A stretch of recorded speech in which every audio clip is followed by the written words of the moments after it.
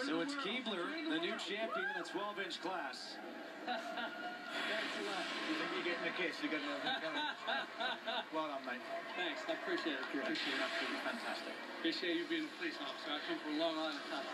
Roger, congratulations. You and Keebler had a fantastic run. Thanks. All right, real quick, we know there's something to do with the Keebler cookies. Explain the name. Well, you know, when we uh, got her from the shelter, she just looked like an elf to me. so I called her Keebler, and she's uh, been like Keebler's elfin magic. Does she eat Keebler cookies? Is that her favorite treat? She would if you left it out. I think she earned it today. She her whatever she wants. How do you keep her focused? There's so many distractions here with the cameras, the lights, the people. She eats this up.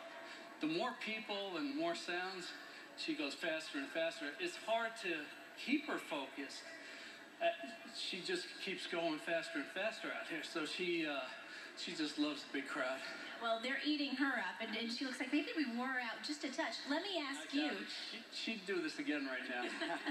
Thank you so much, Roger. Congratulations, Keebler. And Justin, we'll send it back over to you. Well, Keebler was trotting around the ring like she was born for it, and she is the champion there in the 12-inch class. You're watching the Masters Agility Championship at Westminster right here on